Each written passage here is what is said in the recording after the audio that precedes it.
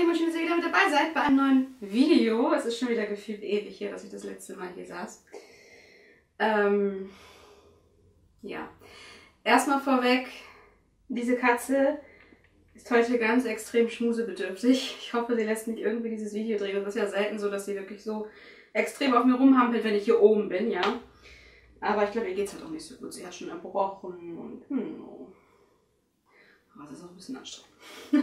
also dieses ständige Kuschel hier. Also lasst euch nicht davon stören, falls ihr mal so einen Kassenschwanz durchs Bild tanzt oder sonst irgendwas. Ich möchte heute ein, äh, ja, eine Filmreview für euch drehen, ein Review-Video. Und zwar zum zweiten Teil von Maleficent, die dunklen Mächte. Und ja, ich sage euch wieder grob, was in dem Film so passiert, was so der grobe Inhalt ist. Und natürlich, wie ich den Film fand. Und diejenigen, die mir auf Instagram folgen, die wissen schon. Ja, Maleficent 2, die Mächte der Finsternis, ähm, freigegeben ab 12 Jahre, ist der zweite Teil der Dornröschen Realverfilmung, sag ich mal, ähm, Maleficent, die dunkle Fee, genau, und startete am 17. Oktober in den deutschen Kinos. Aurora ist in diesem Teil kein kleines Mädchen mehr, sondern eine erwachsene Frau und sie soll auch bald Prinz Philipp heiraten. Und zusammen mit der Fee Maleficent, gespielt von Angelina Jolie, wie auch schon im vorherigen Teil, beschützt sie die Moore, damit sie so schön wie eh und je bleiben. Ja, und zu Beginn der Geschichte ist Maleficent auch sehr glücklich. Sie hat ihre Vergangenheit hinter sich gelassen. Sie genießt das Leben äh, in den Mooren zusammen mit ihrer Ziehtochter, kann man ja sagen, Aurora, und ist eine gute Fee. Bis zu dem Zeitpunkt, ja, wo äh, die zukünftige Schwiegermutter von Aurora ins Leben von Aurora und Maleficent tritt. Durch die Eheschließung von Aurora und Philipp sollen ja diese zwei Reiche zusammengeführt werden, der Konflikt beendet werden. Ähm, ja, die Königin allerdings hat da so ihre Bedenken, glaubt nicht an das Gute und ja, es gibt doch eine Menge Konfliktpotenzial, sagen wir es so. Ja, und dieses Konfliktpotenzial führt letzten Endes zu einem großen Kampf und wie das Ganze endet, müsst ihr euch im Kino ansehen. Also das grob zu der Story. Wie fand ich den Film? Sterbenslangweilig. Also, ich muss tatsächlich sagen, dieses Review-Video, ich habe, ich glaube, nicht eine positive Sache zu. Ich überlege, aber ich, nee. Ich fand den Film von vorne bis hinten sterbenslangweilig. Mich hat lange, schon lange kein Film mehr so frustriert wie dieser Film. Ich fand ihn ähm, vorhersehbar, absolut vorhersehbar. Das CGI fand ich furchtbar. Ich fand es echt schlecht. Vor allem, wenn die, ähm,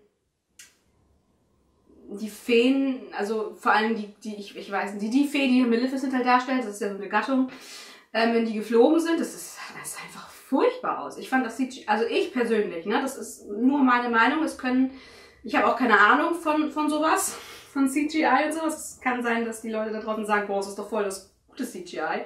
Ich persönlich fand es schlecht, mir hat es nicht gefallen.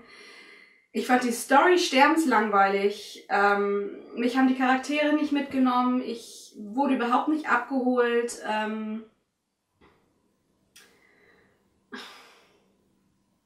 ich weiß echt nicht, was ich anderes sagen soll, weil ich fand den Film schlecht. Ich fand ihn wirklich schlecht. Er hat mich wahnsinnig enttäuscht und ich bin schon nicht mit viel Erwartung rangegangen, weil ich auch den ersten jetzt nicht Bombe fand. Ich war von dem Teil zwar positiv überrascht, weil ich Schlechtes erwartet hatte, aber ich fand ihn dennoch nicht sonderlich gut, jetzt Maleficent, ja. Ähm, deswegen bin ich auch mit ähnlichen Erwartungen jetzt an den zweiten Teil gegangen, auch so, ich erwarte einfach mal nix, weil hm, hm, ich hatte auch nicht sonderlich Bock auf den Film, muss ich gestehen. Aber dass der dann so meine Erwartungen erfüllt und sogar noch schlechter ist, als ich es erwartet habe, das, ja, ich fand ihn, ich fand ihn leider einfach echt schlecht, wie gesagt. Ich mehr kann ich dazu tatsächlich nicht sagen. Also, er hat mich nicht abgeholt. Die Story war langweilig bis zum Umfallen. Ähm, das CGI war schlecht. Alles meine Meinung, ja. Ihr könnt das ganz anders sehen. Ähm, ja, und es gab am, also natürlich gibt es auch in diesem Film so Szenen, die einen rühren sollen. Ähm, ich weine in letzter Zeit sehr schnell. Ich bin sehr schnell gerührt und ich finde etwas, also so Emotionales nimmt mich sehr schnell mit. Null. Ich fand es einfach sterbenslangweilig und furchtbar. Das Kino sah das, glaube ich, auch. Also, es war nicht voll, das muss man dazu sagen. Es waren echt nur irgendwie so, keine Ahnung, 20 Leute in dem Kino oder so, wenn überhaupt. Ähm, was ich so mitbekommen habe, die fanden den Film, glaube ich, tatsächlich gar nicht so schlecht, aber ich, ich schon. Und mehr möchte und kann ich zu diesem Film nicht sagen. Ich habe nichts Gutes zu sagen. Ich kann gerne nochmal überlegen, aber.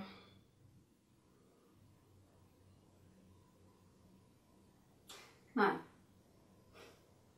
Mir fällt tatsächlich nichts ein. Ich fand ihn nicht gut. Und damit muss ich dieses Review-Video beenden. Das ist meine Meinung zu Maleficent. Ich habe den Untertitel jetzt schon wieder vergessen. Äh, die Mächte der Finsternis oder sowas. Ja, Mächte der Finsternis.